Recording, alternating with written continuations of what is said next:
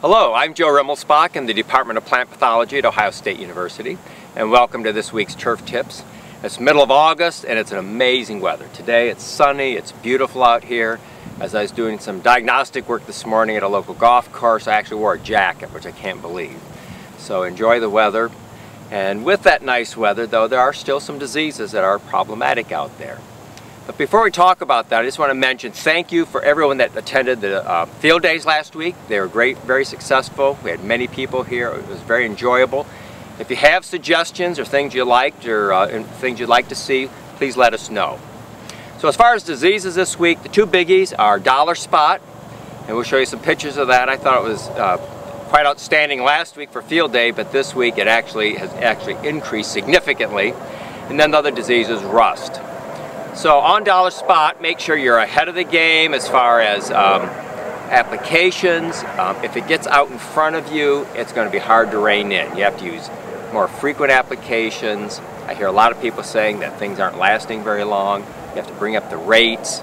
Um, if they have any problems with resistance, those are all going to show up and be intensified. Um, rust is kind of a similar situation. Once you have it, it's almost too late to do a whole lot about it. So if you're managing areas with rust, whether it be a lawn, sports field, whatever, um, if you can increase fertility along with water to make sure the turf grows, you could probably do more good than trying to make an application of some fungicide. If you don't have rust yet and you want to prevent it, then now is the time to make a fungicide application and get and stay ahead of the uh, disease problem. Minor diseases, we had two kind of unusual things this last week. We had uh, at least one case of yellow tuft, uh, kind of in a wet area. So if you're if you're watering, you have some wet spots for whatever reason, you might see yellow tuft. It's a remember it's in the Pythium type family. It's an oomycete. And so um, if you're going to spray for it, make sure you use the appropriate fungicide that works on that group.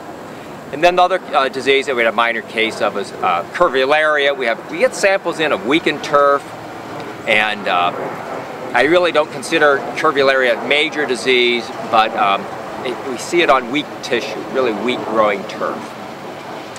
With next week's weather, then, as far as looking ahead, uh, you want to make sure that with, if we get the higher temperatures and humidity, diseases will keep cranking along, other ones may pop up.